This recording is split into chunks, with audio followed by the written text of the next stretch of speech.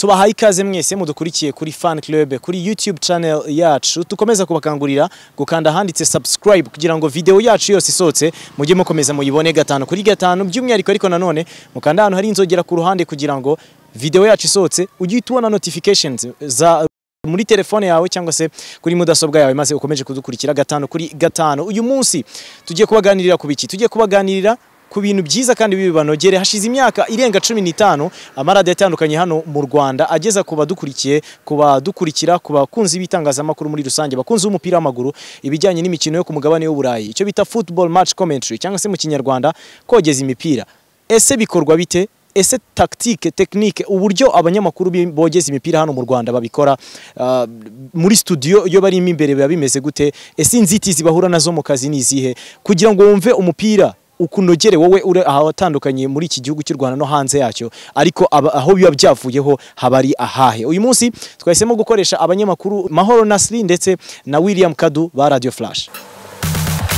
Anja twajya tuwekaza kuza mirongo inani n'icyenda n'ibice bibiri mirongo icyenda n'ibice bine mirongo icyenda na gatanu n'ibice birindwi flash fm tubaha ikaze ku kibuga mary stadium hagati y'ikipe ya southampton yakira ikipe ya liverpool. Ni umunsi wa kabiri wa english premier league shampiyona y'igihugu y'abongereza aho umunsi wa mbere ikipe ya liverpool yatwaye amanota atatu mu gihe southampton yari yatsinzwe. Anako kandi twakira buriya mukaza ku kibuga sentimenti sitade matugeza mu mace gatanu kuri gatanu.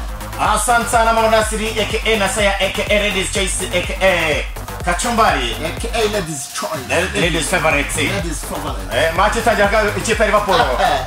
Azamuka neza cyane ko umupira aragenda gushyira hanze. Virgil van Dijk avuga ati njyewe ndi umukinnyi ushaka barondora umupira gushyira hanze rukorerwa n'ikipe ya Southampton Decente Mahoro Nasri tutatinze uh, twagira ngo utubwire mu- murimo murogeza imikino ya Premier League ni umunsi wa kabiri wayo. Uh, kugira ngo umuntu akore match itangire irangire. Uh, ubyitegura igihe kingana iki? Ugera ku kazi habura igihe kingana iki kugira ngo umukino utangire?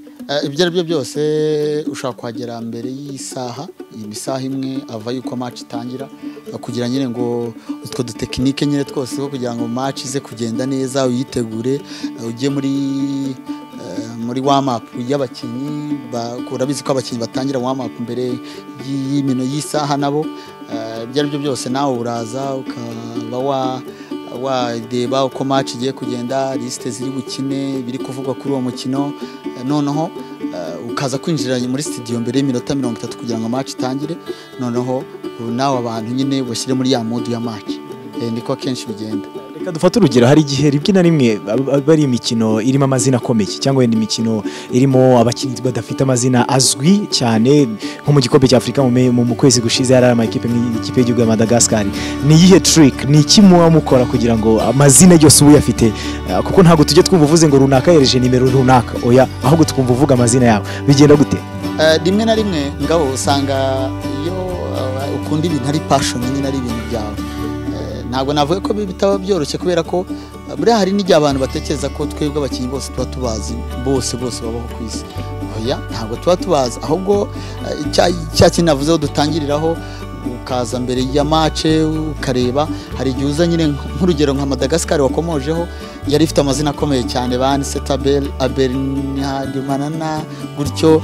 Ariko ukaza nyine ukaza mbere ukarisoma noneho ukareba ese abafaransa bo babi- babisoma gute abongereza babivuga gute wenda iwabo mu rurimi rwabo babyita gute utwo duki twose ukagenda udushaka kugira ngo bize kukorohera imbere ya match eh, na match irimo nyine kugira ngo byibuze ujye uvuga ati unsetabel ukamenya nyine abafaransa bo niko bavu- bavuga ukavuga uti ndaza kogeza mu buryo bw'abafaransa ikindi bikagusaba nyine kunyuzamo amaso kuko iyo uri umuntu ubikunda ari passion ari ibintu bikurimo eh, byibuze igice cya mbere bishobora kukugora eh, kuba wabitiranya amazina ukajya ntumenye neza ariko iyo wafashe umwanya wo kubireba rimwe na rimwe usanga bihita bikorohera kubera ko aba ari ibintu bihita biza flex- fle- flexible ihita iza byihuse ku buryo uhita umenya ngo ni runaka ni runaka kuko kureba urugero nka Arsenal Daniel Ceballos afashe umupira nk'imatch irangiye eh, kumenya ngo haye Lucas Torreira Mateo wenda uzafite imisatsi isa n'iya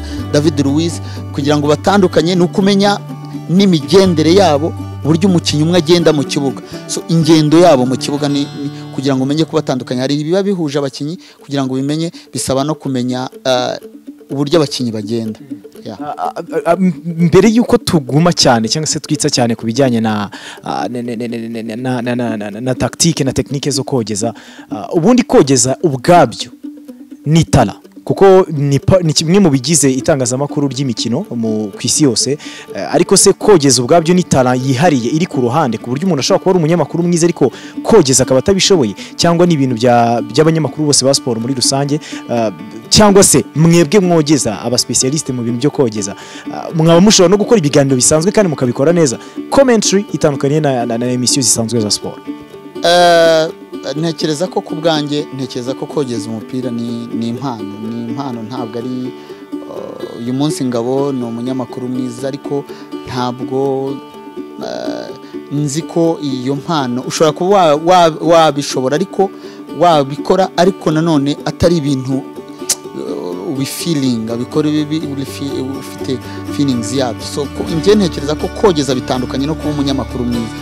Nko mu rwanda dufite bamwe mu banyamakuru beza mu bijyanye eh, no kuvuga amakuru meza siporo gushobora gutegura ibiganiro neza gushobora kugezaho abana amakuru ariko nanone wabashyira muri ya cya kintu cyo kogeza umupira bakaba bataba beza nk'uko ah, ari ari beza mu bijyanye no kugezaho abana amakuru. Ntekereza ko ko- kogeza umupira ni impano iri mu muntu. Ni ibintu biba bikurimo kumva ni ibintu bidasaba ko ubihatiriza. Kuko rimwe uyu munsi hashobora kuba hari na- natwe mu bantu bogeza imipira dushobora kogeza neza ariko mu bijyanye no kuba twa uko twogeza neza akaba ari ntibishobore kuba ariko twatanga amakuru neza cyangwa se twakora ibiganiro neza. So ntekereza ko biratandukanye hari impano yo ko yo kogeza hakaba n'impano yo kuba wagezaho aba- waba uri umunyamakuru mwiza mu bisanzwe makuru ya siporo hano mu rwanda hari ha- tumaze nk'imyaka nk'icumi turi nka cumi n'itanu. Turi muri iyi game yo kogeza kuva za bibiri na gatanu radiyo flash ifungura ah, kugera uyu munsi mu bibiri na cumi n'icyenda n'imyaka nka cumi n'itanu usanga iyi gahunda yo kogeza yaragiye iba integrated mu maradiyo yacu yo mu rwanda. Kuva kuri ba grand frere babitangije ibyo kogeza imipira yo hanze ba kazungu clever kuri radiyo zitandukanye kugera ah, kuri ah, abashyashya bari muri generasiyo yawe ni tubwire nka batatu.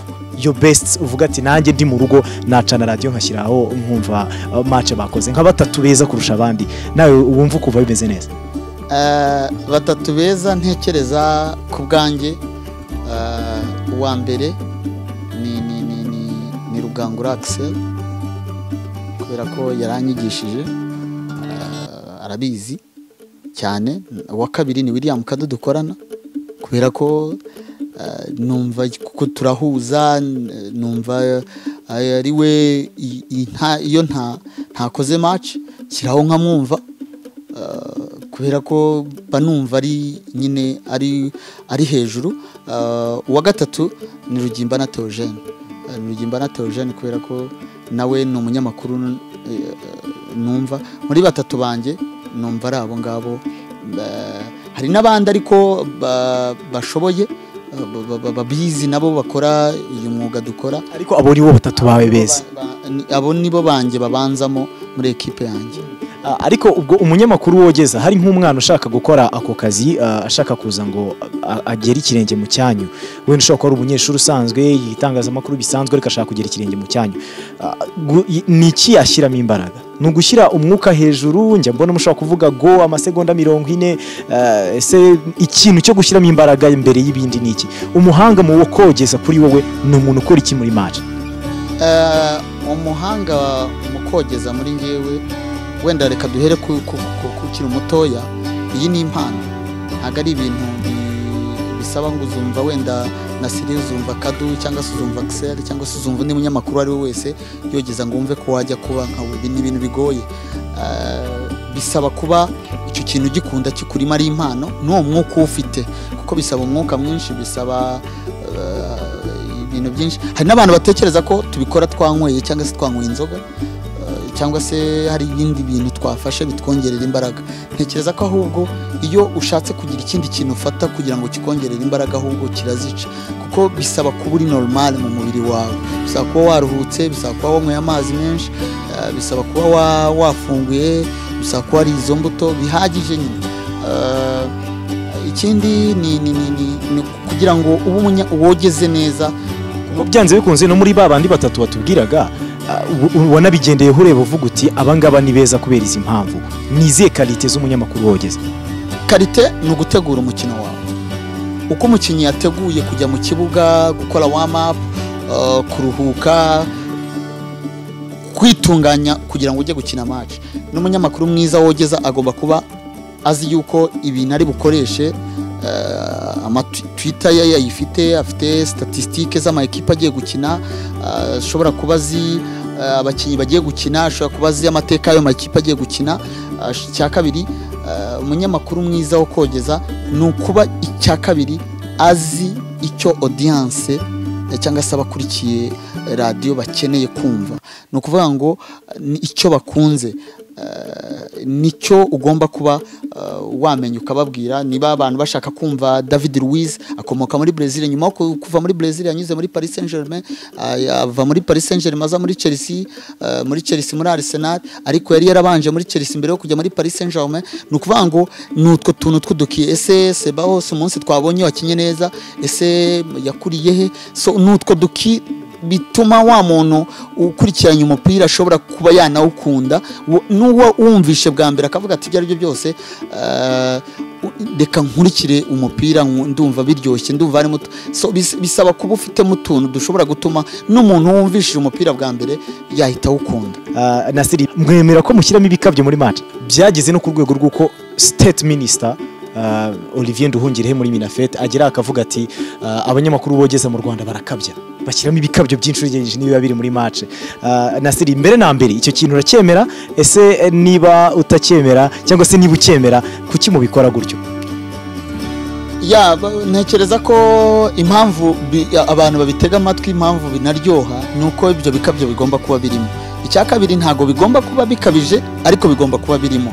Kuko u- urabikurikirana cyane wenda twebwe hano kuri flash twogeza muri ya- yo muri amerika y'amajyepfo. Kuko uravuga ngo ko ugatinda ukitsa ukagaruka kuri go ukavuga ariyo Messi yavukiye ibyo bintu byose ukabivuga. Iyo style ni y'abalatino niyo muri Amerika y'Amajyepfo. Ah, kuko iyo urebye mu Burayi ba- ni ukuvuga ngo Messi eh, we avuga si igitego gihise kijyamo direct.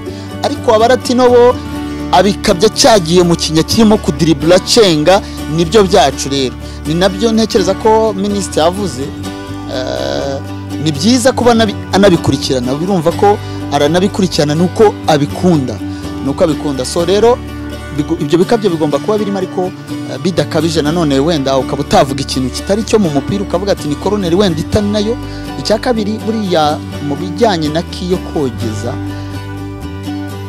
ubundi mu, bijyanye na- na- na- na- n'amategeko yo kogeza. Ntabwo ari byiza kuvuga ngo go igitego kikigeze kijya mu izamu. Ah, sinzi niba abadukurikira ntabwo na rimwe twebwe hano dushobora kuvuga ngo go ngo wapi oya. Ni ukuvuga uvuga go ibyo byaba ari ukuyobya audience. byaba ari ukuyobya audience kuko hari umuntu uhita aserebura.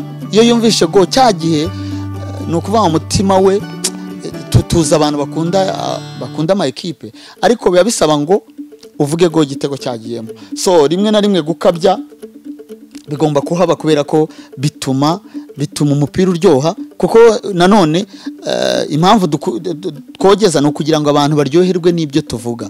Tunabishyiremo dushyiremo za blague zo gusetsa dushyiremo twa tuntu kugira ngo ukeneye ku- kumva umupira ataza no kurambirwa kuwumva yantekereza ko eh, ni icyo ngicyo Eh, kuri minisita ahubwo ajya abikurikira cyane ajya abikurikira cyane anabyumve anaryoherwa ahubwo eh, ntakumve ko abantu bagomba kuvuga ibyo we ashaka. Hari n'abakunda ibyo ngibyo. Nasiri utubwira uburyo utegura match numvise ukomoza ku ijambo internet. Mukoresha internet mu kureba bari bubanzemo n'iki byose. Munakoresha kandi bijyanye n'itumanaho kugira ngo mushobore gukurikirana iyi mikino kuri aya ma screens hari ibigo by'itangazamakuru rya televiziyo by'umwihariko byo ku mugabane w'uburayi bituma tu- tureba aya mashusho. Ah, nasiri byari byakubaho ko ujya kogeza ugasanga nta interineti ihari cyangwa ah, ibi- ibi bigo by'itangazamakuru mpuzamahanga bitugezaho iyi mikino. Harimo ibibazo bya tekinike wenda bitarimo gutuma match ikugeraho. Iyo bigenze gutyo bigenda gute? Niba byarakubaye Ya, eba, nta- ntabwo ntabwo ntabwo nabeshya. Rimwe na rimwe bibaho bya interineti kuko dukoresha interineti Eh, hari igihe uba wanatangiye match ukabona kuko ntabwo ari twe tuyobora eh, ntabwo ari twe twikorera interineti cyangwa se tuba tuyifite ukabona hagiye habaye ikibazo cya interineti icyo gihe bisa nkaho iyo utaraba professional muri kano kazi bishobora guhita bigukura muri mudu ya match bikakwicira match. Bigatuma n'abantu ba- ba- bagukurikiranye bashobora guhita bumva ko wagize ikibazo. Ariko iyo kibaye uhita ushaka indi solution. Iyo solution niyo nshaka kumenya. Amashusho aramutse abuze interineti iramutse ibuze ni iki mushobora gukora muri iyo minota? Icyo ukora icyo gihe iyo amashusho ayisabura bidatewe na nawe cyangwa se bitewe n'ikibazo cya interineti cya satelite n'ibindi. Icyo gihe uhita ukoresha nka telefone. Uhita ufata nka telefone cyangwa ugahita ukoresha imashini uba ufite imbere yawe ugahita ujya kuri noneho icyo twita live streaming. Noneho ugahita umupira uwukorera aho ngaho. Kuko byibuze hashobora kuba hasigaraho amasegonda abiri cyangwa atatu ariko icyo gihe niyo ki ya mbere uhita uh, ukoresha iyo ubuze amashusho asanzwe uh, ariko nanone bi- bi- bisaba kuba nyine umaze kuba professional. I- iyo utari wagera kuri urwo rwego birakugora ugasanga utangiye gushaka indi solution uh, utangiye gutegereza amashusho kuko ntabwo ubuze igihe amashusho ari bugarukire. So uhita ukoresha iyo ngiyo live streaming byihuse ako kanya kuko uba ufite imashini imbere yawe. Iyo nanone interineti nabwo idahari ubwo ni ikindi kibazo gikomeye. Icyo gihe noneho uhita ujya ku- kuri twitter. Uhita ukoresha twitter kuko eh, byateye imbere ku mugabane w'uburayi uba ureba kuri twitter uko umupira ugenda. Icyo gihe hari eh, hari eh, nka premier league yo iba ifite twitter yayo igenda ikwereka uburyo match iri kugenda ako kanya. So niyo ukoresha kugira ngo updating abantu. Ibyo bintu byigeze bikubaho? Ya byambayeho kuri match y'umwaka ushize ya Tottenham Hotspur n'ikipe ya Liverpool. Icyo gihe nashatse no gusohoka muri studio numva byanesheje umutwe eh, nabuze solution n'imwe ndavuga ni Twitter eh, kuri telefone biriguma biragenda gake eh, ariko eh, naje ku- kubyitwaramo kigabo ntekereza ko na audience ntago yigeze igira ikibazo gukurikirana uwo mukino.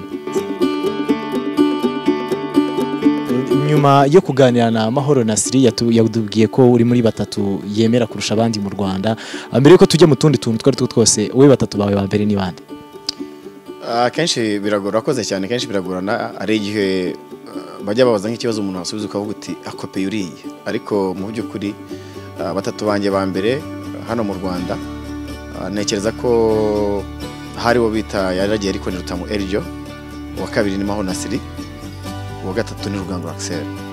Wo kubera iki? Ni izihe karite ubona ubafite? Ah, ni karite ikintu karite cya mbere kogeza ikintu impamvu wenda ngiye mvuga batatu banjye ba mbere ni uburyo bavuga ni, vocal ah, ni uburyo bavuga cyane cyane bino bintu byo kogeza buri muntu ama- amateka umuntu ashobora kuyasoma cyangwa umuntu ashobora kuvuga izina ry'umuntu ariko uburyo eh, bisohoka umwumva bituma uwo muntu yakwatractinga cyangwa se nawe wakumva uwo muntu yogeza mukunda gukora muri babiri. Niko kabazo k'ingenzi numvaga nshaka kukubaza wowe William Kadu. Hari n'abakumva kenshi urimo kubakinga niba nabyita gutyo. Iyo murimo gukora muri babiri umwe aba afite izihe nshingano undi aba afite izihe nshingano? Inshingano zose ni zimwe eh, tuba dufite inshingano zimwe koko twese tu- tuba twogeza ariko hari ubanza ni nk'uko ni kubona indirimbo buri muntu agira igitero cye. Hari ubanza undi akaza aka- akamwunganira. So niko wita ku bakinga kuko so dukunda gukora twembi kuko ntekereza ko icyo nzi ni uko muri match niba ari Premier League ari match eshatu mugenda muzi uh, muzigabana. Eh, ndavuga umwe inshingano yo kubakinga ni iyihe? Inshingano yo kogeza uri main ni iyihe? Umuntu ubanza wa mbere aba ari we wogeza icyo gitego kigiyemo ni we ubanza kukivuga undi akaza avuga nk'ayo mateka y'umukinnyi. Ah, kuko twese ntabwo twahita twogeza ngo gol tuzaba mu icyarimwe niyo mpamvu umwe agira kubakinga cyangwa se kumwunganira kuko niba wogeje eh, cya gihe azamutse cyangwa se kumenya ngo kumenya uburyo winjiramo ni nk'abahanzi bazi ukuntu umuntu aza mu gitero cya kabiri si uriya muntu wunganira ubundi aba ari nk'umuntu uje hari ushinzwe chorus hari ushinzwe gutera hakaba n'uzana chorus yego. Noneho uh, muri i- ikurikira abadukurikira muri rusange haba kuri channel yacu ya YouTube ya Fan Club uh, ba- ba- abakunda ibintu byo kogeza. Ni izihe nzitizi muhura na zo abantu batashobora kumenya ba- ba- bari- hanze? Iyo umuntu arimo kumva match ashobora kutamenya ko hari ibibazo mushobora guhura na byo hano imbere. Cyangwa se ni ikihe kintu gishobora gutuma ukora match wumva utameze neza? Ni igihe cyose gukora match wenda ukayikora n'umuntu uta- mutamenyeranye igihe cyose ushobora gukora match ukayikora n'umuntu mushyashya utabizi wenda ugasanga aracyakeneye kuba wenda wamuzamura icyo gihe cyose uravunika wenyine wowe nk'uwogeza kuko usanga byinshi ugomba kubyikorera nk'uko wari umbaje se mufatanya gute? Hari inshingano z'umuntu aba afite n'undi afite ariko icyo gihe uzanye nk'umuntu wenda utamenyereye cyangwa se mutamenyeranye kwa kutamenyerana bisaba ko byose bisa nk'aho ari ubikora. So icyo gihe uravunika ikindi nk'igihe cyose usanga internet iragiye cyangwa se amashusho habaye igihe cy'imvura amashusho arabuze. Icyo gihe ugomba kwiyaranja ariko uhura n'imvune nyinshi cyane. Match nziza wakoze mu buzima bwawe. Yayindi ujya uvuga uti nyiri kodinze nkajya nyumva mu rugo byano- byanogera niyi Ah, match ni nyinshi. Ah, nakoze zi- zikanshimisha kuko ariko hari twi- nigeze gukora. Ah, ni match ya Paris Saint-Germain. Ah, yakinaga nihe muri Champions League biragenda nyikura ya- indi yanshimishije mu buzima bwanjye ni- Real n'ikipe ya FC Barcelone yigeze kunshimisha. So iyo uri mu match ziri muri match nakoze numva koko uzanshimisha mu- muri kariyeri yanjye nogeze. Kadu uh, match hari igihe tujya twumva hano kuri radio flash fm mwakoze na za copa america mwakoze ibintu byinshi bishobora no kurangira mu majoro. Match nyinshi umunyamakuru wogeze ashobora gukora n'izingahe bijyanye n'imbaraga zanyu. Ah, ntabwo navuga ngo umunyamakuru agomba gukora ntabwo naba specific kuko umunyamakuru agira ingufu ze naho zigarutse n'ukuntu azijera kuri wowe? Njye make eshanu match eshanu ushobora kuzikora? Ushobora kumara amasaha icumi uri kuri mikoro? Ntabwo ari ubwa mbere ibi ntabwo mbitanga nk'urugero kuko narabikoze iyo nkorana cyane cyane n'umuntu uvuga ngo utashobora kuba yangora cyangwa yamvunisha make eshanu ndazikora.